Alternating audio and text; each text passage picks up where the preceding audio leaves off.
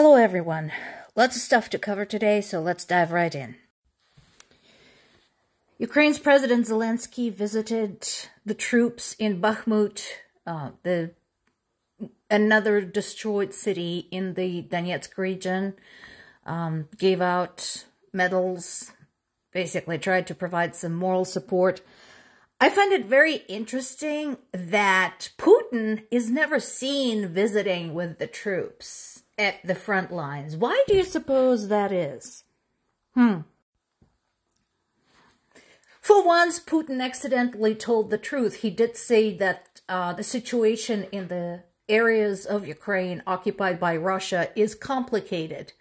As mentioned before, all Russia has to do is leave. It's really simple. Just leave and it all goes away. All the problems, all the corpses, all of the humiliation, just leave. Interestingly, the mention of the war in Ukraine uh, was absent uh, during the meeting between Putin and his lapdog, Belarus leader Lukashenko, if you can call him that. But of course, there is no war. It's just special operation. They're trying to denazify Ukraine. So of course they wouldn't talk about it, even as they plan to attack Ukraine from the north.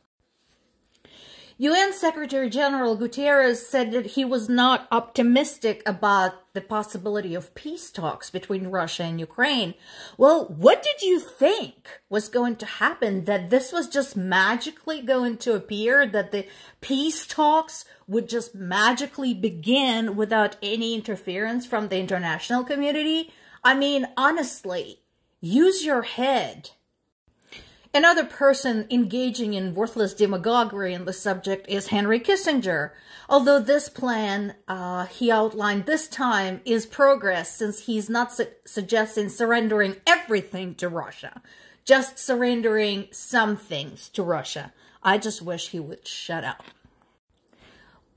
More on UN's being completely useless uh, UN conducted no investigation regarding Iran's supply of military drones to Russia in order to attack Ukraine. Iranians living in Ukraine actually protested against Iran's involvement in this.